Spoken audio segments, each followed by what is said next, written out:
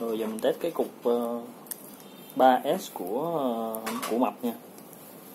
Cái cục này là mình tách từ ờ, cục 3S 2P mình lấy ra 3 cell cái cục đó 6 cell nhưng mà chết 2 cell. Còn 4 cell thì mình ghép lại 3 cell thôi tại 4 nó không vô thông đối với bên mình. Mình phải ghi đây để mình nhớ sạc. Khi sạc nếu mà B6 thì nhớ cái dòng dòng sạc là 6.4 A dòng này khá lớn đối với B6 thường thường mình thấy sạc có 5 đến 5, 6 A thôi cho nên thời gian mình sẽ lâu hơn. Tại nó, cục này nó lớn quá mà, dung lượng nó lớn quá. 40C 3S 6 64 cục này quá lớn để chơi chơi súng rồi. bây giờ mình sẽ test nó là ờ, test ờ, đo 3 3 cell. Cộng với lại ờ, đo trên motor giống như cái phương pháp mà mình mình test, đảm bảo là cái cái cell nó nó tốt. Rồi bây giờ mình sẽ đo từ trái qua phải vôn kế này đó rồi. Vôn kế đâu. Okay. rồi. Dưới liền mình rồi, đó, xe đầu tiên Xe số 1 4.2 thêm cell nữa. 8.4 thêm cell nữa. 12.6 không? Cái này là hôm qua mình sạc rồi, cho nên nó full rồi. nó đầy rồi thì ờ, sẵn dịp mình sẽ test luôn cả cái bộ sạc này của bình mua. Thì giống như mình có nói vậy đó cố gắng làm sao một trong hai lần một hai lần đầu á, khi mình mua một cục sạc về đó, thì nên kiểm tra nó.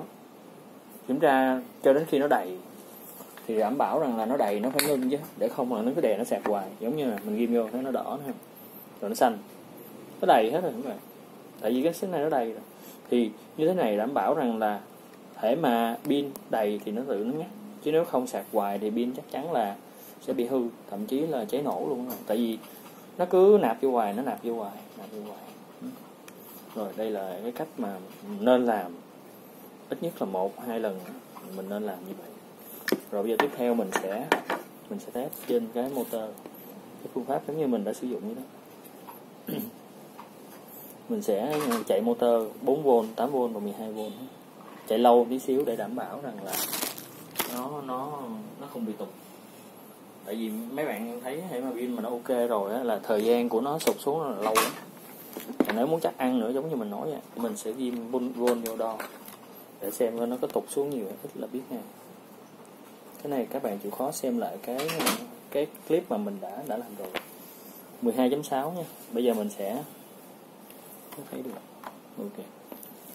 Đây các bạn nhìn volt đó đây 4V sau đó 8V và 12V mình nghe tiếng động cơ, mình sẽ biết tại nó ồn, không nghe tiếng mình nói đâu.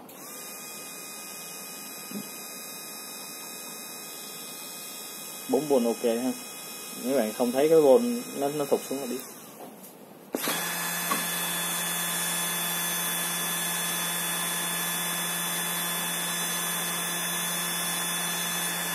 Và 12V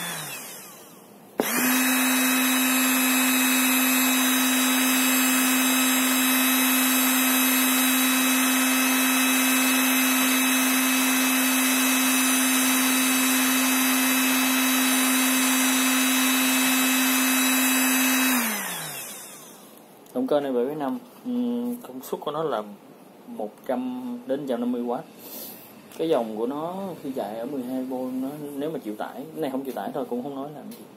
Đó thì mấy bạn thấy nó hồi pin lại nó hồi pin lại. Cục này thì ừ, mình nghĩ là mập ờ, cố gắng xài chơi giữ gắn báo pin này nọ đồ vô thì bảo đảm mình chơi chắc cũng lâu. Tại xuất phát của nó là bên bên mấy con quạt mà ngon rồi ha. Rồi tương tự vậy cho cái hai xe này cũng vậy nè.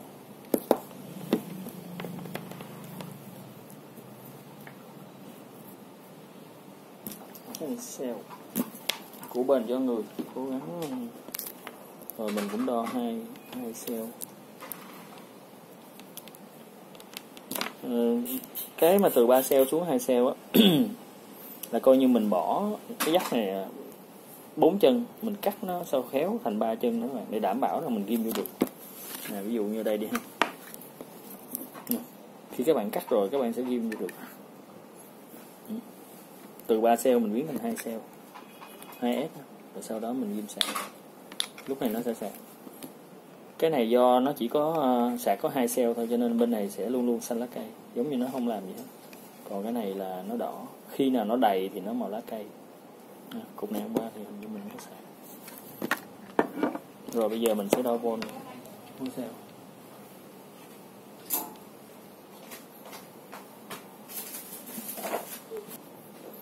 rồi mình sẽ đo từng cell một. Mới ra giao hàng. Bữa nay là ngày ờ, ship cuối cùng trong năm. Ok. Thì lúc này thì sợi đỏ mất đi rồi do mình đã cắt bớt một sợi rồi.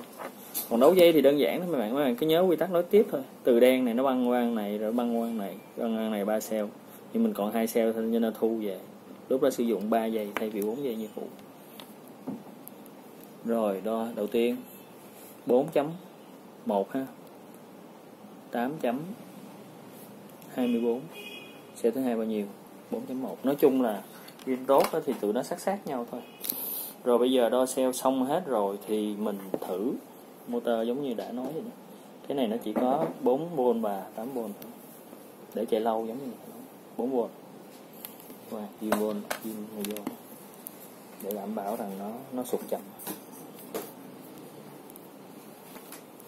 Cục này 2230 30 30C đồng chí có hai cục 6 cell nhưng mà hư 4 cell còn hai cell ok đó cái này thường thường nó sẽ xuống rất chậm. Điện nhiều. Khuyến khích mấy bạn nên mua đồng hồ điện nếu trường hợp mấy bạn làm việc với nó rồi, đổi qua 8V nghe số này có nhưng mà nếu mà xe nó hư, nó rút nó hơi nhanh lắm. Cho nên xe hư mình chơi chút xíu là cái đồ báo pin này nó sẽ kêu bóp không phát một là mình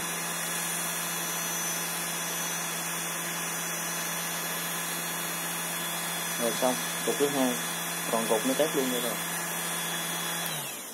Còn một cục ờ, 8 cell. Mấy bạn nghe tiếng tốc độ quen. Mình đổi qua cục 8 cell. Đổi 8 c. Nãy là 30 c. Thử xem coi tốc độ nó có khác bao nhiêu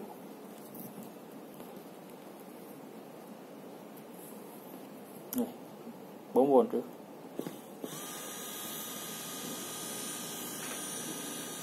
Tám V rồi nó đâu có khác gì với 30 c tại vì cái công suất của thằng motor này là cái dòng của à, cục pin 8C này nó đã đủ bao cho nên không có không có vấn đề. Rồi, thử 12 coi có khác gì của cục mà 40C nãy